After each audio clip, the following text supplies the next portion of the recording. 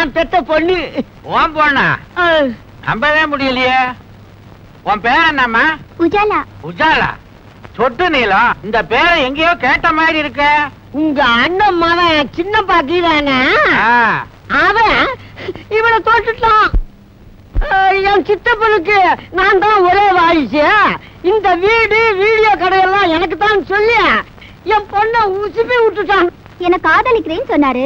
சரி வீடு இருக்கு கடை இருக்குன்னு நானும் தலையாட்டிட்டேன். அப்புறம் கல்யாணம்னு சொன்னாரு.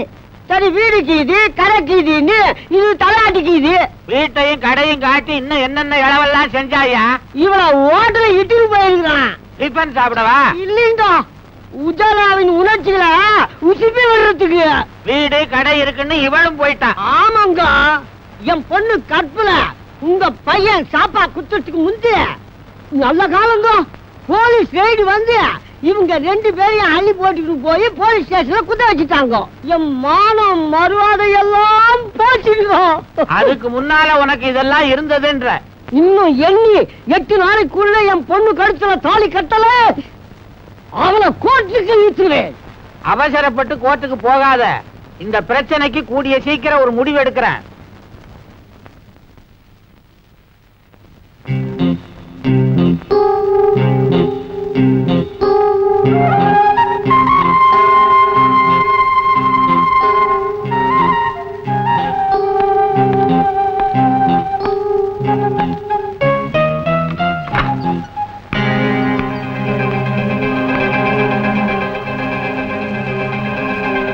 கையை நிடுங்க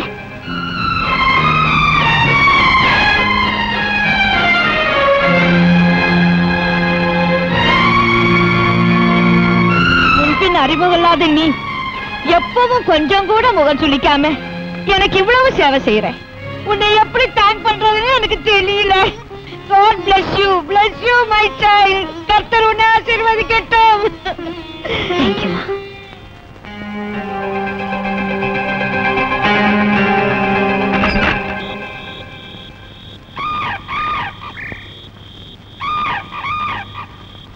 பானு சக்கரவர்த்தி இந்த நேரத்துல இங்க வந்து யாருக்காக காத்துட்டு இருக்கீங்க உனக்காகத்தான். எனக்காகவா? அப்படின்னா காலையிலேயே நீங்க என்ன பின்தொடர்ந்து வந்திருக்கீங்கன்னு நினைக்கிறேன். ஆமா. எதுக்காக ஃபாலோ பண்ணி வந்தீங்கன்னு தெரிஞ்சுக்கலாமா? குனிஞ்சு நிமிர முடியாத வேலைன்னு சொன்னியே அது என்னன்னு தெரிஞ்சுக்கலான்னு தான் வந்தேன். ஓ. தெரிஞ்சுக்கிட்டீங்களா? தெரிஞ்சுக்கிட்டேன். ஆனா உன்னத்தை என்னால புரிஞ்சுக்க முடியல. எதுக்காக இப்படிப்பட்ட வேலையெல்லாம் செய்யற பேப்பர்ல விளம்பரம் பார்த்து நானா தான் இந்த வேலையை தேடிக்கிட்டேன். வாரத்துல ஒரு நாள் அந்த அம்மாவோட துணிமணிகளை துவச்சு போட்டு குளிப்பாட்டி விட்டு மாதா கோயிலுக்கு கூட்டிட்டு போனோம். மத்தபடி சில்லற வேலைகளை பார்த்து கொடுத்துட்டு ராத்திரி ஒன்பது மணிக்கு தான் வீடு திரும்புவேன்.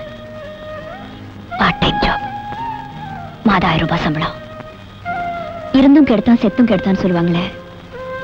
அந்த மாதிரி எங்க அண்ணன் பூபதி உயிரோட இருக்கும்போது அவன் கொடுத்த தொல்லைகளுக்கு அளவே இல்லை. அவன் செத்த பிறகும் என்னை சாகாம சாகடிச்சிட்டான். நான் செஞ்சுட்டு இருந்த மாடலிங் தொழிலும் போச்சு. கை நிறைய எவ்வளவோ சம்பாதிச்சேன். ஆனா இன்னைக்கு வரைக்கும் எனக்குன்னு பேங்க்ல ஒரு பைசா கூட போட்டு வைக்க சந்தர்ப்பமே கிடைக்கல. ஏன் அப்படி? எங்க அண்ணன் எனக்கு விட்டுட்டு போற சொத்து நாலா பக்கமும் கடன். அந்த கடனை எந்த ஜென்மத்தில் எப்படி தீர்க்க போறேன்னு எனக்கே தெரியல. சுத்தி இருக்கிற உலகம் என்னை தீண்டு தகாத மாதிரி பார்க்குது. என்னால வாழவும் முடியல. சாகவும் வழி தெரியல. இப்படிப்பட்ட துர்பாக்கியமான நிலைமை எந்த பொண்ணுக்கும் வரக்கூடாது. பானு வாழ்க்கைன்னா மேடு பள்ளங்கள் வரத்தான் செய்யும். அதை தாங்கிக்கிற மனப்பக்குவம் நமக்கு வேணும். இந்த உலகம் என்ன கொள்ளக்காரின்னு சொல்லுது. அந்த மனவேதனை தான் என்னால தாய்க்க முடியல. வெளிவட்டாரத்துல உன்னை பத்தி இப்படி ஒரு பகிரங்கமான குற்றச்சாட்டு இருக்கிறது என்னமோ உண்மைதான். இந்த களங்கத்தை போக்குறதுக்கு உனக்கு எல்லா விதத்திலையும் உதவி செய்ய நான் தயாரா இருக்கேன். நீ உண்மையிலேயே நிரபராதின்னா முதல்ல நீ என்ன நம்ப வைக்கணும்? நான் நிரபராதி. உங்களை எப்படி நான் நம்ப வைக்கிறதுன்னு தெரியல. பானு தெய்வத்துக்கு முன்னாடி நீ கற்பூரத்தை ஏத்தி பூபதி நீ கொலை பண்ணலன்னு எனக்கு சத்தியம் பண்ணி கூட நான் நம்புறேன்.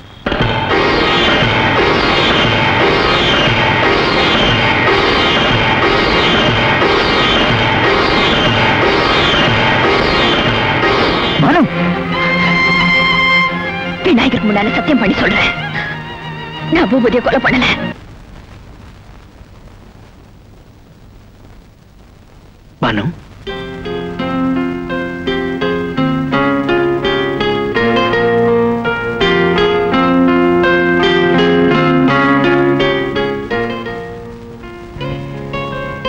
அக்னி பரீட்சை வச்ச உன் உள்ளங்கையில மட்டும் இல்ல உன் உள்ளத்திலையும் தீக்காயங்கள் ஏற்படுத்திட்டேன்.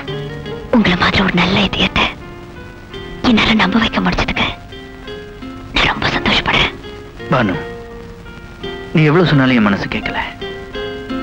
ஒரு உண்மையை வரவழைக்கிறதுக்கு உனக்கு எவ்வளவு பெரிய தண்டனையை நான் கொடுத்துட்டேன். இந்த வழக்கை பொறுத்தவரை தண்டனை கொடுத்து வந்த அபராத தொகையும் கட்டணும்.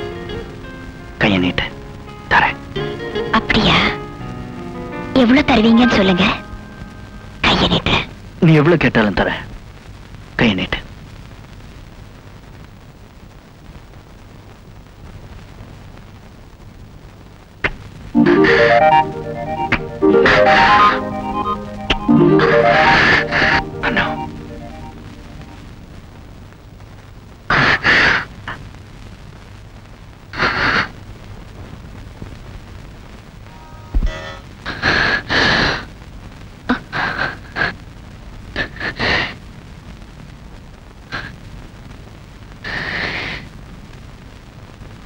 படிப்பு எனக்கு ஒரு பாதுகாப்பு கிடைச்சிருக்கு.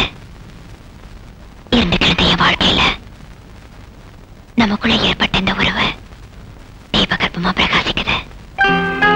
இந்த அபரை நிதியத்துல நீங்க ஏத்தி வச்ச தீபம் என்றும் நிரந்தரமா எரிஞ்சுக்கிட்டே இருக்கணும். அணைச்சிட மாட்டீங்களே? நிச்சயமா அந்த தீபத்தை அணைக்க மாட்டேன். இந்த தீபத்தை அணைக்காம விட மாட்டேன்.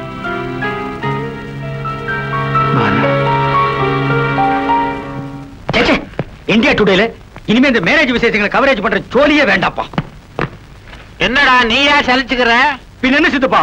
ஒவ்வொரு கல்யாணத்திலயும் மாப்பிளை பையன் மேடையில வந்து ஜாமுன்னு உட்காரும் போது அந்த கோலத்துல நான் என்னைக்கு உட்காருன்னு ஒரே ஏக்கமா இருக்கு.